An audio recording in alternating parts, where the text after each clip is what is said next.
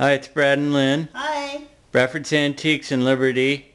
We have something a little different today. It's a jukebox, but it's a CD jukebox at the Bubblers. It's made by Rowe from the early 90s and uh, made after the Wurlitzer 1015. Holds 100 CDs though and has a killer sound system.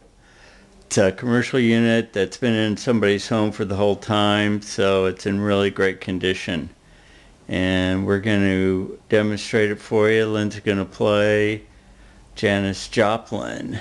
It's uh, set for free play too. Yeah, set on free play. So she puts in the disc number and the track number and it pulls it up and there it goes. So rock out to a little Janis Joplin.